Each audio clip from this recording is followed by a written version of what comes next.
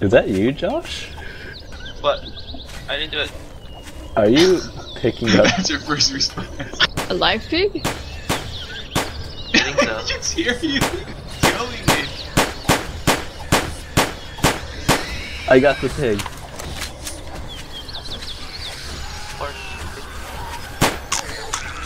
Ooh. you scared the shit out of me. Want some blueberries? Oh my god. You sound like a drug dealer. So this is great having a wood trunk as a for a fist, but I can't aim. I was about to kill you, Jeff. What's so